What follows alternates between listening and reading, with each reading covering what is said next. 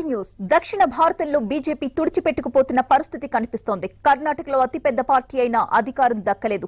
తమిళనాడులో సోదిలో కూడా లేకుండా పోయింది. కేరళలో క్యాడర్ ఉన్నా సీట్లు లేవు.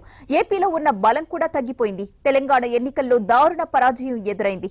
ఇక సౌత్ పై బీజేపీ ఆశలు వదులుకోవాల్సిందే అనే వాదన కూడా మొదలైపోయింది.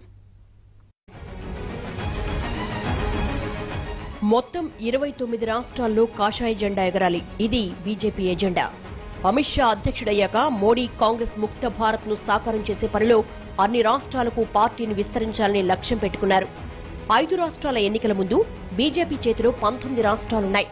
అంతకంతకు పెరుగుతున్న మోడీ ప్రాభవంతో దక్షిణ భారత్లోనూ ఎదగాలని కాషాయ పార్టీ తీవ్ర ప్రయత్నాలు చేసింది. కానీ ఇక్కడ మాత్రం అచ్చి రావడం లేదు.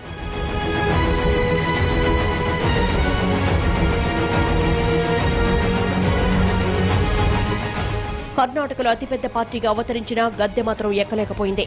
కేవలం కొంతమందిని ఆకర్షిస్తే ప్రభుత్వ ఏర్పాటు ఖాయమైనా ఆపరేషన్ కమలం వికటించింది.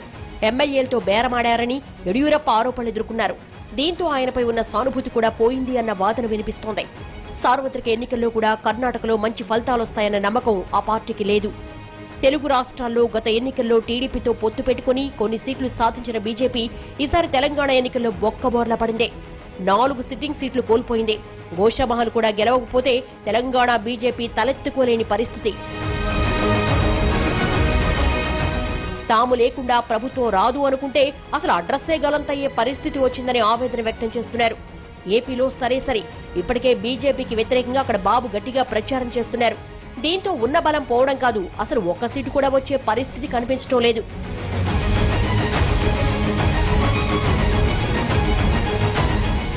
తమిళనాడులో జై మరణం తర్వాత ఎదుగుదామని బీజేపీ వేసిన ప్లాన్లు బెడిసికొట్టాయి అన్నాడీఎంకేను తమ చేతిలో పెట్టుకుని ఆడించినందుకు బీజేపీతో పాటు అన్నాడీఎంకేపై కూడా వ్యతిరేకత పెరిగింది. దీంతో అన్నాడీఎంకే కూడా ఈ మధ్య బీజేపీకి దూరం జరుగుతోంది. సార్వత్రిక ఎన్నికల్లో కలిసి పోటీ చేస్తుందన్న గ్యారంటీ లేదు. అక్కడ ద్రవిడ పార్టీలను కాదని బీజేపీకి సీట్లు వచ్చే పరిస్థితి లేదు. కేరళలో విచిత్ర పరిస్థితి ఉంది. అక్కడ కేడర్ గట్టిగానే ఉన్నా సీట్లు మాత్రం రావడం లేదు. ఆందోళనలు ప్రభుత్వ వ్యతిరేక ఉద్యమాలు బాగానే జరుగుతున్నాయి. కానీ అవి ఓట్ల రూపంలోకి మారడం లేదు. దీంతో ఏం చేయాలో అర్థం కాని పరిస్థితిలో ఉంది బీజేపీ. గోవాలో కూడా పారికర్ అనారోగ్యంతో సర్కారు సందిగ్ధంలో ఉంది. దీంతో ఇక దక్షిణాది ఆశలు వదులుకోవాల్సిందే అన్న వాదన వినిపిస్తోంది. ఐదు రాష్ట్రాల ఎన్నికల్లో ఎప్పటినుంచో కంచుకోటలుగా ఉన్న రాష్ట్రాలు చేజారడంతో బీజేపీ అలర్ట్ అయింది.